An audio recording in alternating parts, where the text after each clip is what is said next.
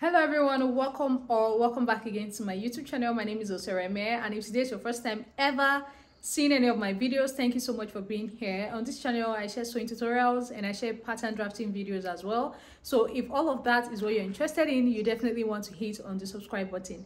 In today's video, I'm going to be sharing with you guys how to make this beautiful dress right here as seen on Veekee James. I'm going to be showing you guys how to go about the pattern drafting for something like this and how to go about the sewing. So if this is something you're interested in, you definitely want to keep on watching the video. If you're still yet to subscribe, hit on the subscribe button so that you're the first to know when I upload um, my next videos. So with that being said, let us get started with this video. I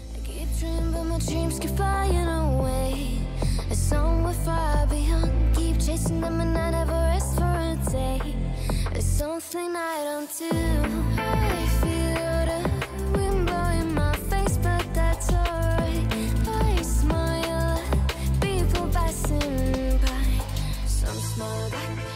might not. To make this dress you will need at least 3 yards of fabric. I'm making use of three and a half yard here. And the type of fabric I'm using is called Mikado silk. Um like I said before, I'm using three and a half yards. You will need a lot of fabric because it's a full flare and you're actually going to make gathers on it as well. I also went ahead to get a matching lining. You don't need to get a lot of lining. If you can get one yard of lining, it should be enough. So that's what we're going to be using to make this dress. I'm going to go ahead now and start by drafting out the pattern. I have my pattern paper folded into two. So I'm going to start by drawing out a starting line at the top and then from this starting line i'm going to measure down to my bust point. So i'll mark it here. And i'm going to draw a straight line across this point as well. Next i'll measure from my shoulder to my under bust so i'll place my tape here at the shoulder line and measure down to my under bust i'll mark it here. And i'm going to also take a measurement from my shoulder down to my waist which is at 15 and a half here. So i'm going to draw straight lines across these two points as well so basically you have the shoulder line, the bust line, the under bust line and the waistline. You will need to take all these measurements on your body. I have gone ahead to label all the lines. So now on the shoulder line, I'm going to go in by 3 inches for my neck width. And then I'm going to come down by 3 inches for the neck depth. Although we're not going to be using this neckline, but we're trying to draft out a basic bodice pattern. So we need to draw out a neckline. So I'll connect the two points together now that I just created to give me a round neckline. Once you're through with that, you're going to measure from the center again towards the side on the shoulder line. Go in by half of your shoulder measurement. For me, it was 7 inches. I marked it and from that point, I came down by 1 inch for my shoulder slope. So I'm going to connect from the neckline to that shoulder slope measurement I had. Once you're through with that, from the shoulder slope, you're going to measure down to your armhole depth. For me, my armhole depth is 7 inches. I marked it here and I'm going to also draw a straight line across this point and label this new line the chest line. Next, I'm going to connect a straight line from the shoulder slope to meet the chest line, just like I've done here. Once you're through with that, the next thing you want to do is to get the midpoint between the shoulder slope and the chest line. So I marked the midpoint here, which is like the middle. And from that middle point, go in by half of an inch. Once you're with that, on the chest line, go ahead and divide your bust measurement by 4 and make a mark here. Now you're going to join all the points together that you have to give you your armhole curve. So I'm going to connect all these points together with my French curve, just like you see me doing like this. After drawing out your armhole, you're going to create the darts. So on the bust line, go in by half of your nipple to nipple measurement. For me, it's three and a half. I marked it here on the bust line and also marked it here on the waistline. So I'm going to use my straight ruler to connect both points to give me a straight line. I just labeled my patterns again just so we don't make a mistake later, okay? So once that is done, the next thing I want to do now is on the shoulder here, I'm going to divide what I have on my shoulder into two equal halves and I'm going to connect from the point I got there to the bust point. So just from here down to the shoulder here, so just do exactly what I've done in this video. Once you're through with that, on the under bust line, we are going to start taking in our dart. So make sure you are taking your dart from the under bust line. So on the part going towards the center of your blouse, you should mark half an inch.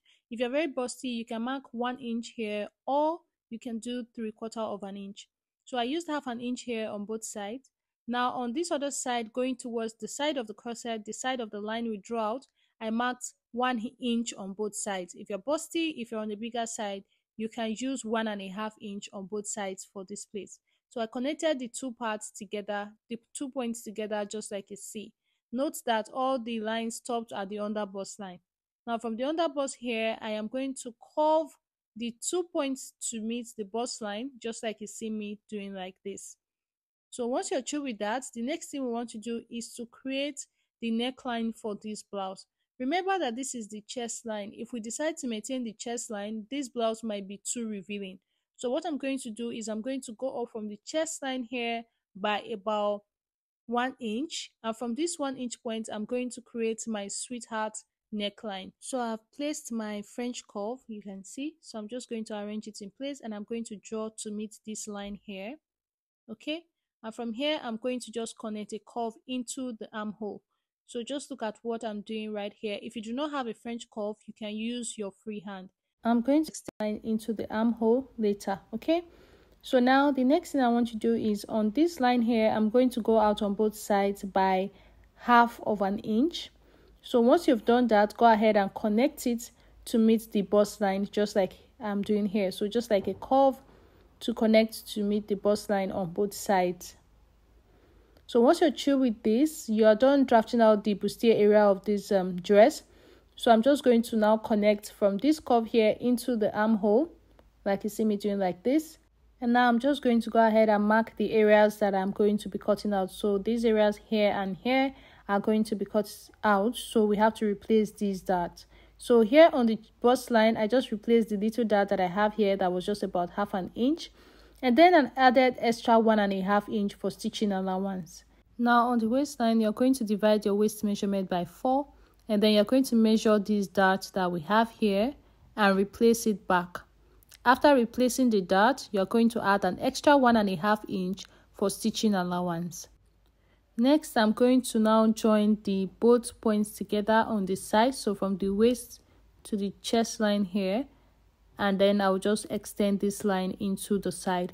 So we've added stitching allowance to the side of this pattern. We're not going to be adding any stitching allowance again.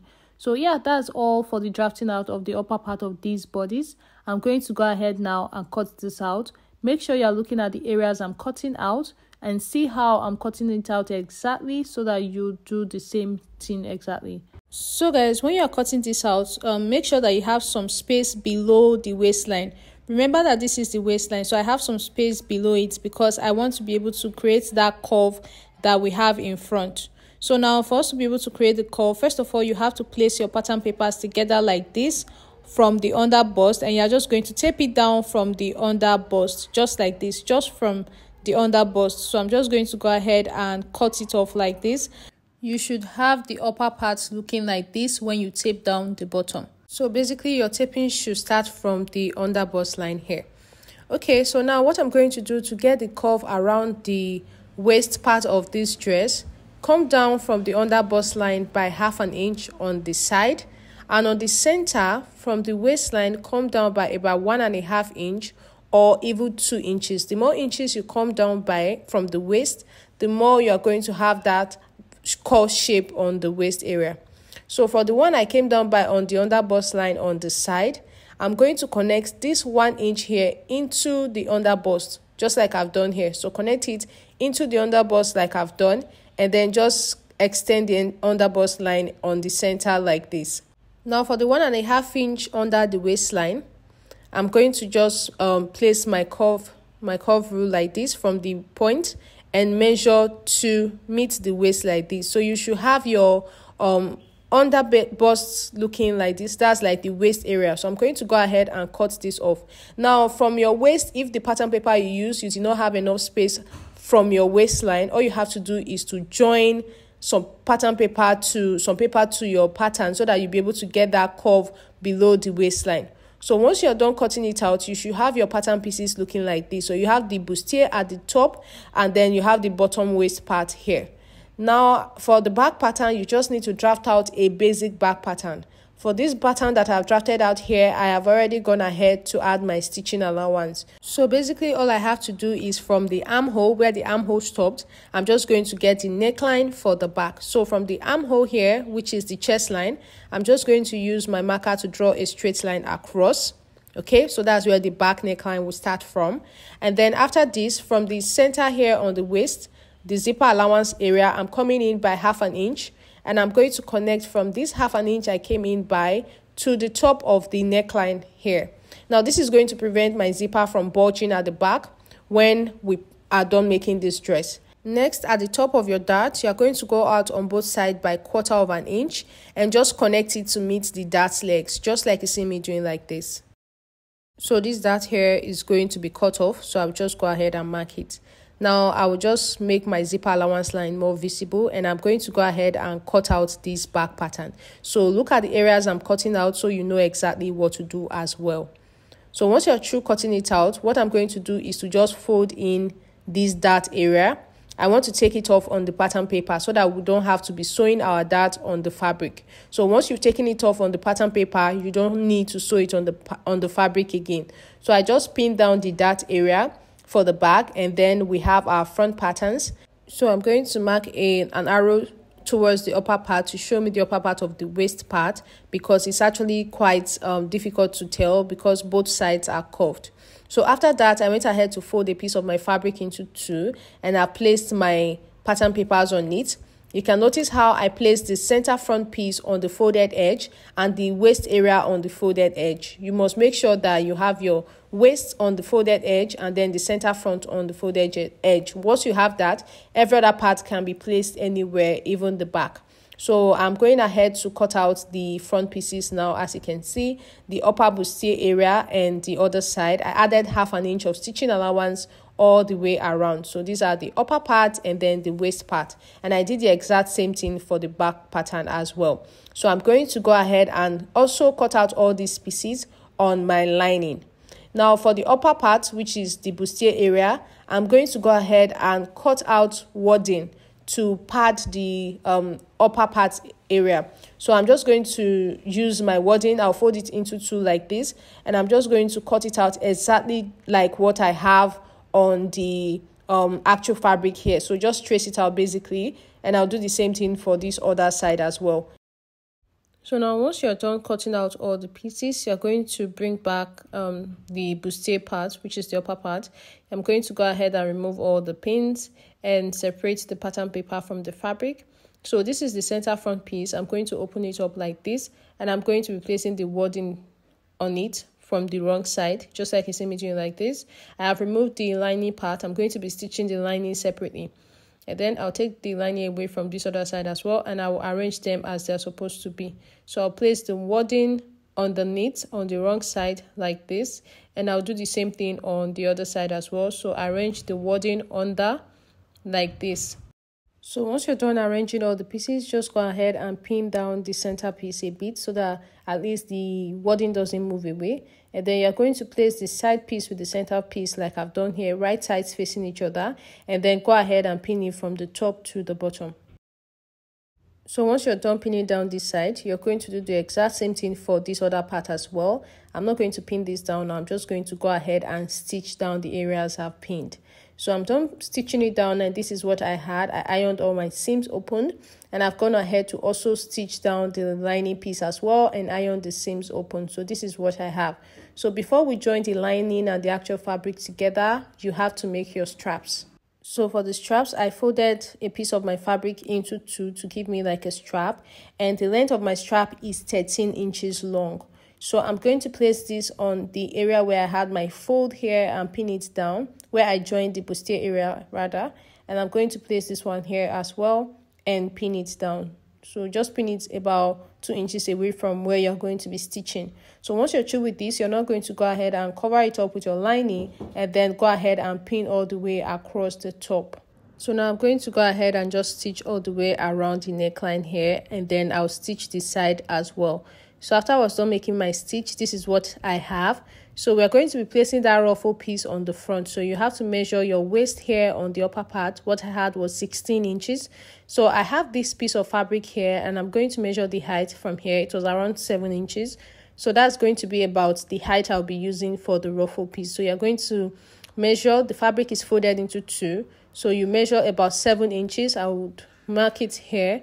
And then for the length of the ruffle remember that I had about 16 inches here so we have to add more inches to be able to have that gather effect. So I decided to mark mine at about 24 inches. The more inches you use here the more gathered it's going to be right? So I went ahead to just cut it out here at 24 so that means I've added about 8 extra inches to what I had on my waist. So I'm going to go ahead and reduce the height of this ruffle so that it will fit into the area we're going to be pleating it in. So what I did was to just fold this fabric into two again. I'm going to measure what I have here which is about six and a half but I'll be measuring seven on this side of the um, fold that I have and I'm going to go ahead and cut it out.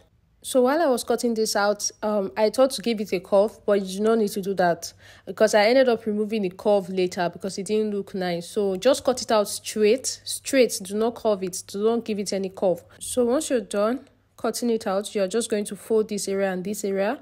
And like I said, I removed the curve. So this is what I now had after I was done stitching it down. So it's in a fold and then I folded it down the sides and then just made a stitch to join these other parts together here. So you do not need to make it curved at this point. So take note of that.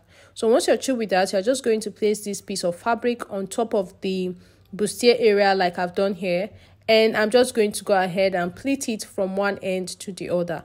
Before you start pleating, you can give a little bit of space, about one inch away or two inches away before you start making your pleats. So this is what I had after I was done making my pleats. I just used my pin to just hold the pleats in place at some point so that it stays perfectly. So now we are going to be placing the waist area.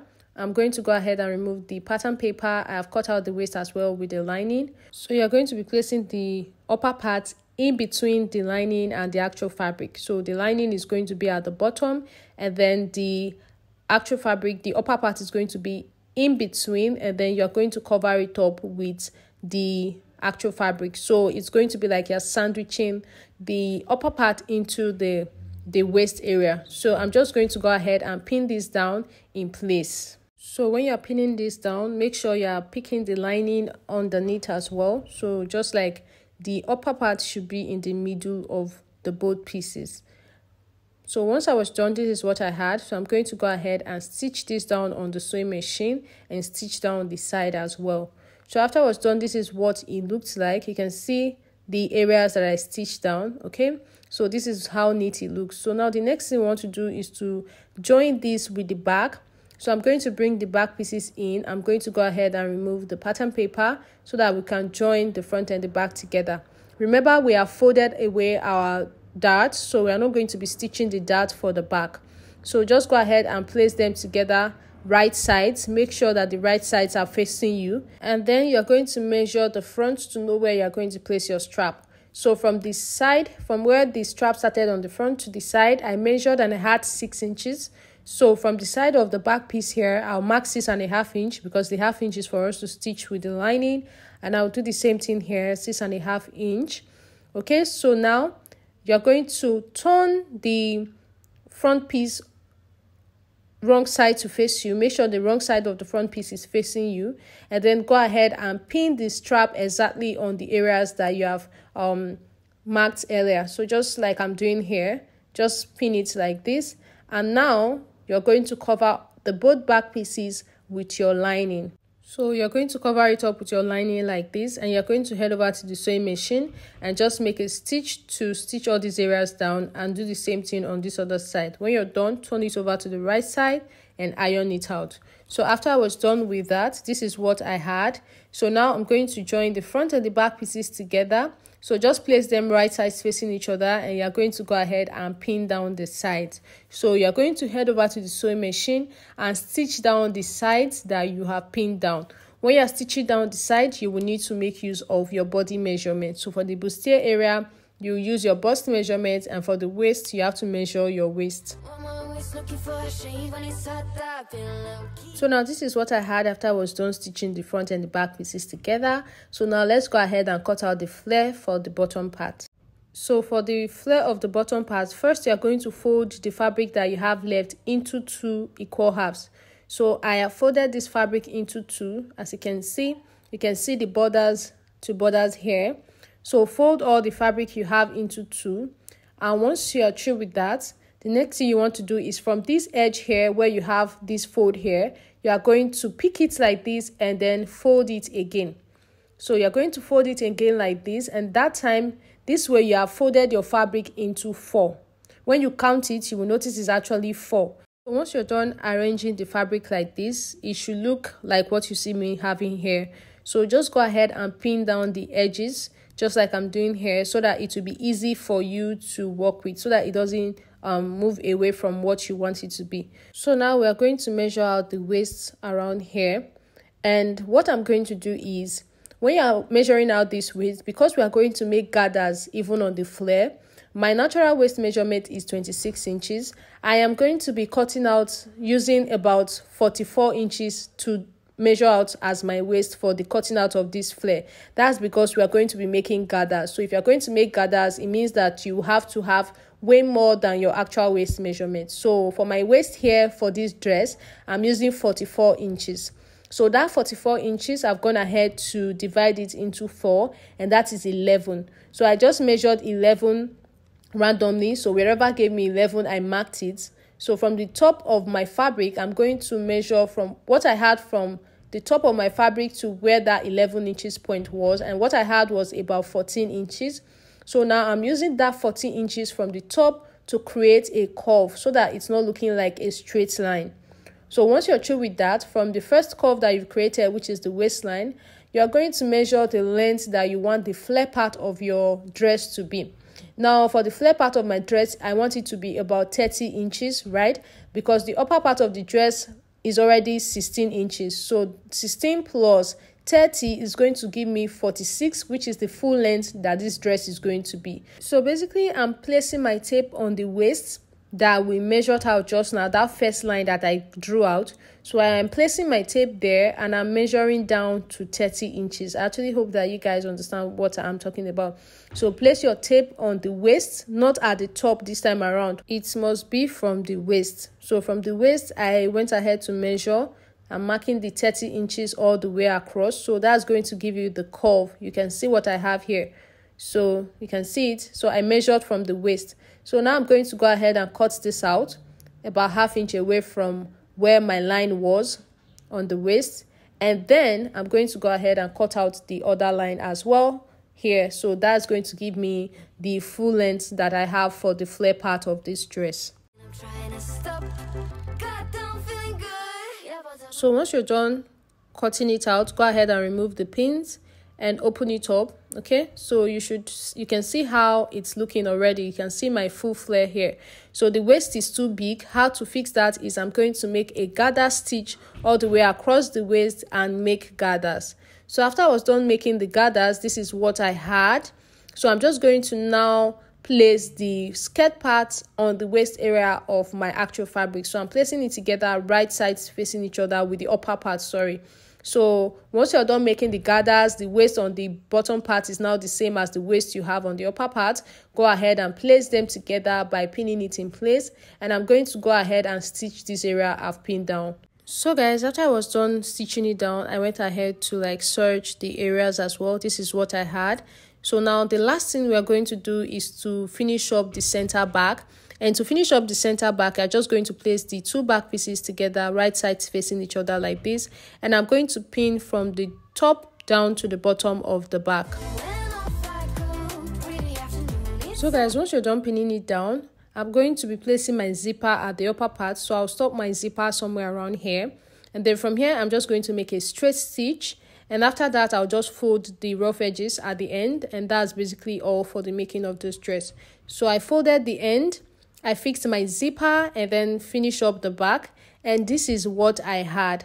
So now to finish up this area here, if you wear this dress, it's not going to stay in place. I, I tried it on and the ruffle pieces were not standing so what i went ahead to do was to just pin down this area here and i'm going to use my needle and thread to just like stitch the ruffle to the bustier part so just like a very small stitch so you stitch the ruffle to the bustier part to make it stay in place and that will basically be all for the making of this dress. So after I was done with everything, you can see what it looks like on me. That's all for the making of this dress. I actually hope that you guys find this tutorial helpful. Um, if you do, please leave me a comment in the comment section and I'll see you guys in my next video.